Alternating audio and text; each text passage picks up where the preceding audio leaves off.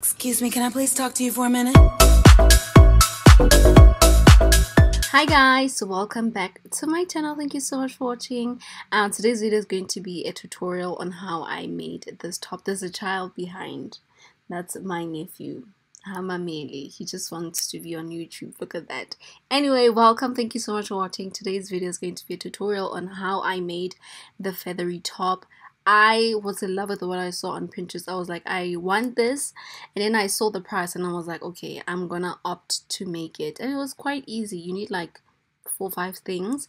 Number one is this top that I got from the Fix. We all have these ones. And I love the Fix because they have different colors. Um, I did try to get the feathers in white, but they did not have white. They had ivory. You're going to need a needle and a thread and also a couple of pins and also a scissor. Um, in terms of sewing or in terms of like putting together the top or stitching it, you can use a, a hot glue gun or sewing machine. So these feathers are kind of like real. Um, to get that effect, I really wanted like a very big top. Um, but these ones you can get them at a shop called Ostrich, whatever they sell ostrich stuff. I got a two ply because I didn't actually know. I thought a two ply was something different, but I, so a two ply is literally like a meter but folded, so it's going to be a little bit longer. So this is my inspiration from Pinterest. I have a dress like this, so I'm thinking of making something like that because I just love the feather effect. So yeah, you can get those feathers. I'll link it down below the shop. Um, a meter was like 200 and something, and it's not like something you can get from a fabric shop, so you have to specifically get it from there. But their shipping was really fast. They are in South Africa, so you're gonna start by pinning down the trim, that part, that yeah, that one, and then you're just gonna sew from there. It's quite easy. So it's going to be fast when you use like a hot glue gun or sewing machine because this one is like you know it's kind of like time consuming but you will be done in an hour. Why this top i just love it. I just feel like it has that dramatic effect. It, it's a cute very nice top. So yeah it's just gonna repeat the steps and cut it however you want to cut it. Uh, but at the end I did not have like enough feathers but it wasn't bad. You will see there was like kind of like a little bit of space there. It wasn't bad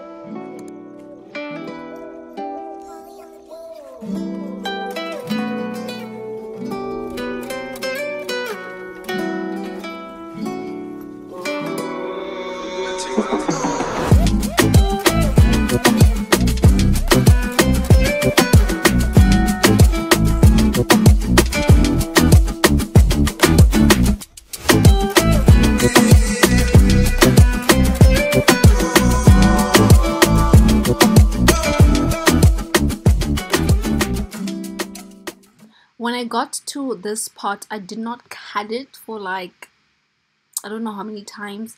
Like I kept folding it like this instead of cutting it because I was afraid that I might lose feathers. But this was actually good quality. Like it was so good quality to a point where you know sometimes when you cut something and then there's like leftovers. I don't know if I'm trying to make sense, but like it doesn't or like the feathers don't come out. That's exactly what I'm trying to say. It's such good quality product. So yeah, I kept folding it all the way. Um, but I think maybe like two rows at the end I cut it because I wanted to do something different but then it didn't work out so I just kept on doing the same pattern. You can use a bra, you know like a bra that's like holding your boobies very well um, if maybe you don't use it that much or maybe buy a new one to make this top so yeah at the end I did not have like enough feathers but I'm glad because I was so afraid that they might not even fit. But yeah this is how I made it. I'll link everything in the description box again. Quite easy to make and I enjoyed making it and I enjoy wearing this top. And I feel like I should have many more colors or like try to incorporate this on my dress. I absolutely love it and the back is also very stretchy so even if like you gain weight it's, it's still going to fit. That's why I used this type of top that I got from the fix. But yeah i hope you guys enjoyed this video. Please give this video a thumbs up and i will see you guys in the next one. Talk about some things we can undo. Just in the pen i can find you